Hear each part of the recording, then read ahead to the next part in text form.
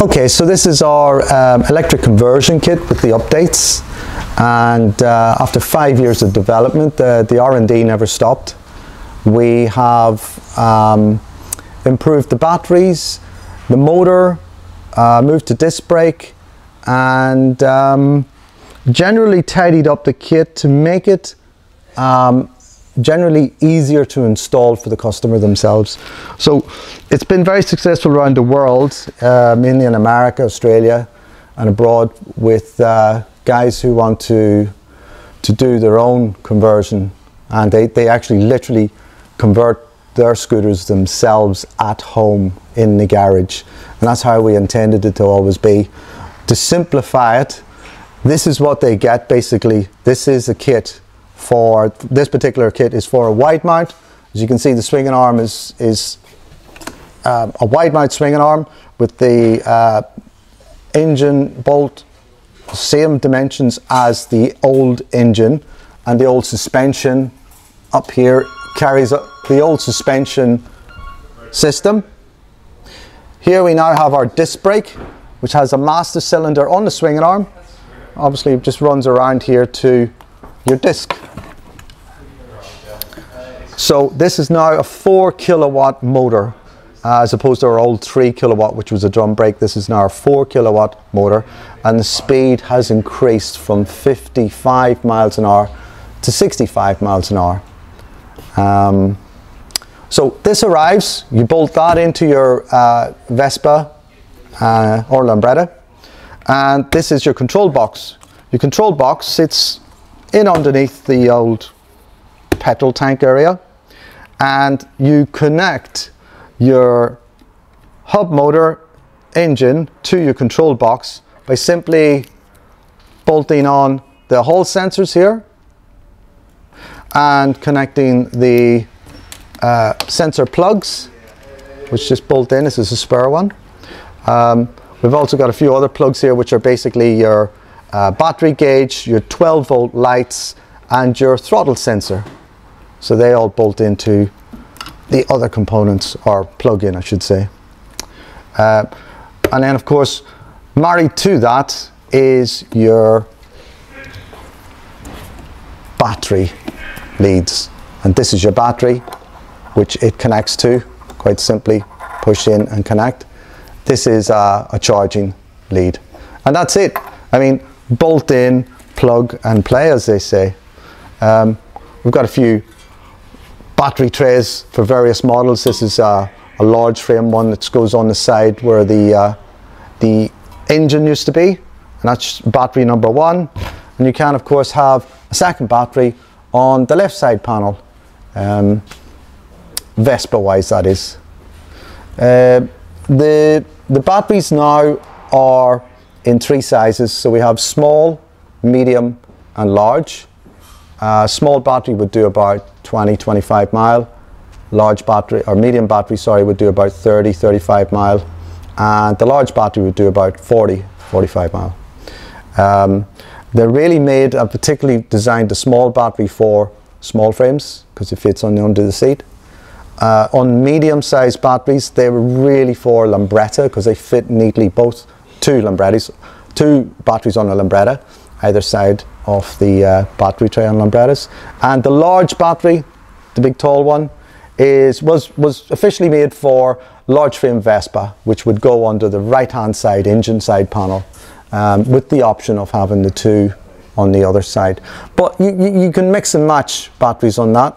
I mean, you could have two small ones on a Lambretta, uh, you could have one large one on a Lambretta, uh, large frame Vespa, you can have two small ones, two medium ones, or two large ones. It, it, it's however you want to play it, whatever your range is, whatever your range requirement is. Um, initially, I make the kit. The kit is £3,000, £2,995. You install that yourself. After that, you choose your battery size and play around with batteries as your range requires. You can buy one battery if you find it's not enough add another one later except for small frame obviously which only carries one battery currently only carries one battery I am making a second battery holder where the spur wheel goes at your leg on the leg shield knees it's keyless now which helps contain all the high voltage in this control box. There's no uh, messing around with high voltage. It's all internal, and with keyless, the keyless fob is inside. The keyless uh, mechanisms inside, so you're just switching it on and off.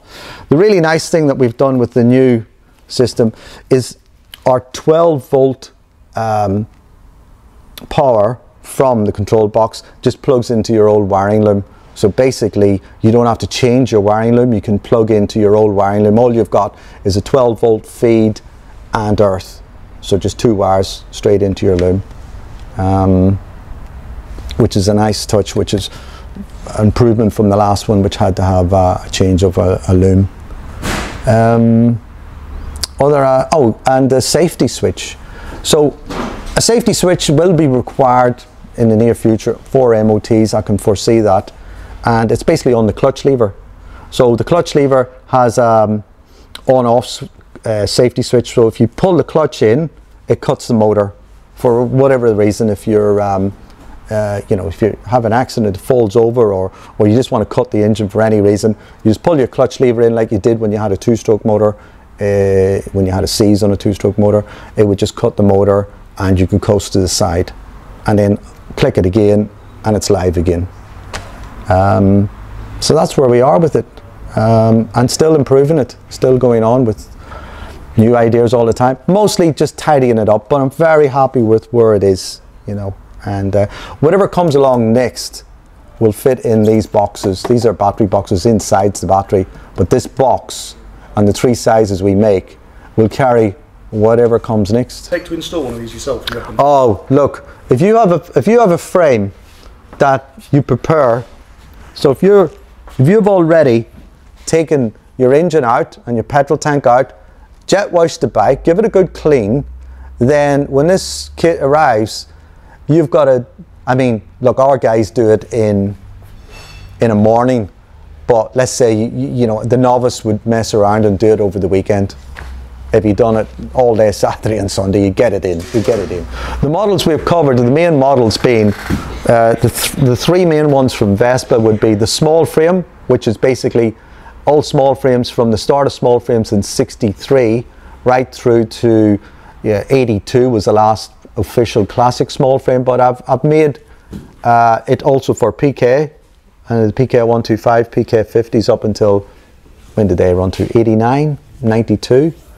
Um, it's not for Cosas or uh, any of the automatics. Everyone keeps asking me why I'm not doing it for like ET4s or LXs or GTSs. It's not cost efficient.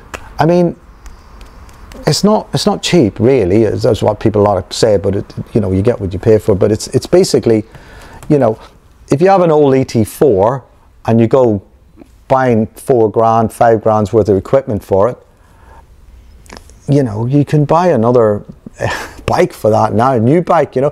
What I say is you can buy a brand new electric scooter like a Super Soco or a NIU for three and a half grand same price. And that's a brand new bike with a three year warranty and everything's brand new and it's got all the apps and high-tech stuff that oh one more thing about our kit as well.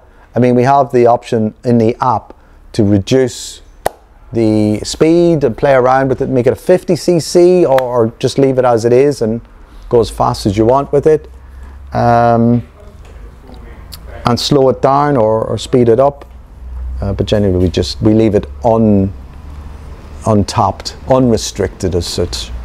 Um, but yeah, we, we don't do the, the new orders. We could do, and we might have a tinker with one, but um, it's not cost effective. I mean, we people who just go out and buy a brand new electric scooter. I mean, it's mostly to save the classics, maintain the classics.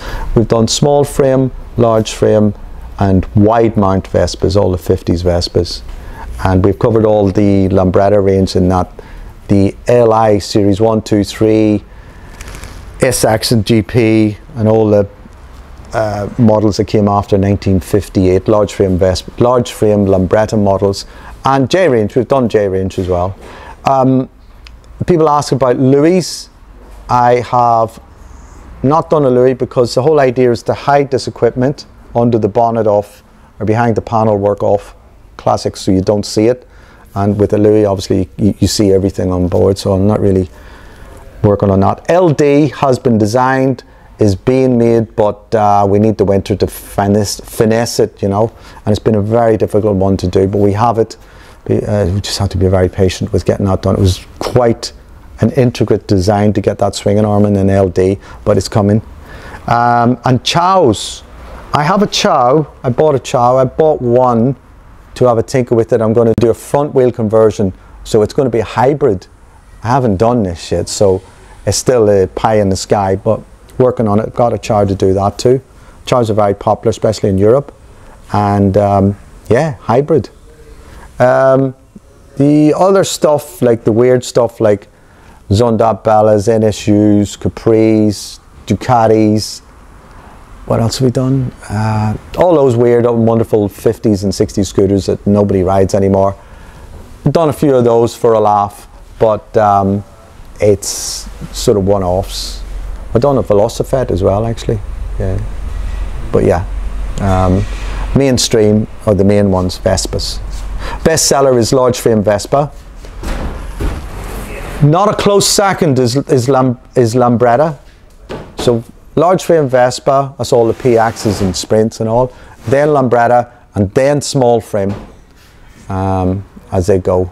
But probably 60%, 70% large frame Vespa. Not surprising. Yeah, 20% Lambretta and then 10% small frame Vespa. Wide mounts are coming good actually. I've no percentages left to put wide mount in there.